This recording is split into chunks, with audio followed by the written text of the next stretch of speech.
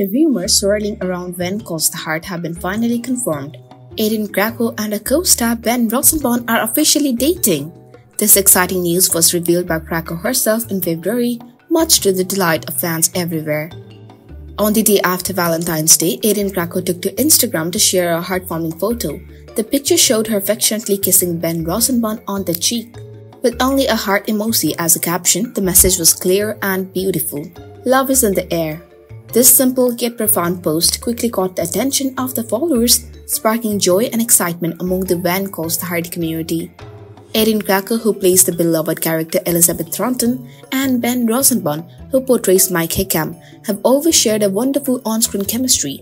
Fans of the show have enjoyed watching the characters interact in the charming town of Hope Valley.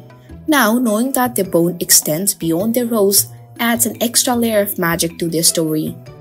The confirmation of their relationship was met with an outpouring of love and support from fans affectionately known as Hearties. The Hearties have always been a dedicated and passionate fan base, and they quickly rallied around the couple with congratulatory messages and well wishes.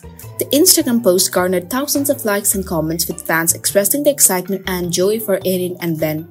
The real life romance between Krakow and Ben Rosenbaum brings a special kind of joy to fans who have followed the journey on When Calls the Heart their relationship not only delights the audience but also adds a sense of authenticity to their performances. The love and respect they share in real life undoubtedly enhance the depth of their on-screen characters. While the couple has kept much of their relationship private, the public declaration of their love gives fans a glimpse into their off-screen lives. The photo posted by Krakow is just a small window to their happiness and connection.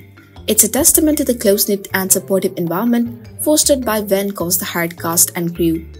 As Erin Krakow and Ben Rosenbaum continue to navigate their relationship both on and off the screen, fans are eager to see how this real-life romance might influence their roles in the series. Will their character's storyline reflect their off-screen connection? Only time will tell, but one thing is certain. Their love story has brought a fresh wave of excitement to the When Calls the community. The bond between Erin and Ben is evident in their interactions both on social media and in interviews. Their shared moments, both personal and professional, have endeared them even more to their fans. This relationship is not just a fleeting romance but seems to be built on a solid foundation of friendship, respect, and mutual admiration.